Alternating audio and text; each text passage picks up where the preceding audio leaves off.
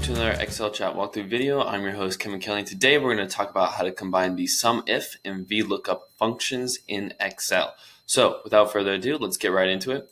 So as you can see in the Excel file here, I have a list of vendor IDs, invoice numbers, and the amount for each uh, invoice.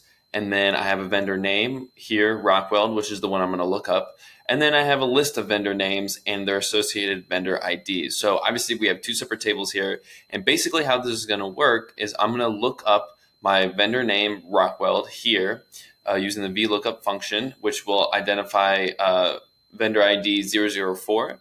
And then as I identify the 004 ID, I will be able to look over in this table for all instances of 004 and then add up each of the amounts for vendor 004.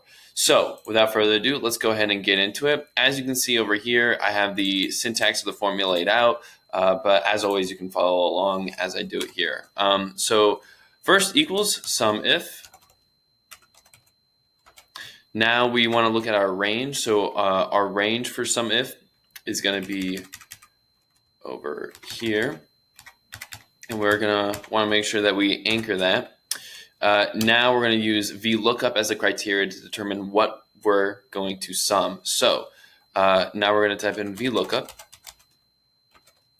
And we're using vendor name Rockweld and make sure that we anchor that. Uh, by the way, if you anchor it or use absolute cell reference, it's just pressing F4, so function 4.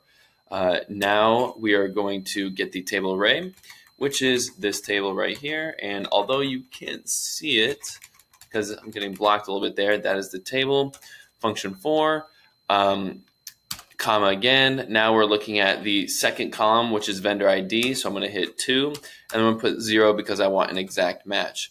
Now the last thing we're going to do is go over, uh, hit parentheses, comma, now go to amounts, and we have to highlight the amounts because obviously that's what we're going to end up summing up. Again, we're going to make sure that we anchor it, close parentheses, enter.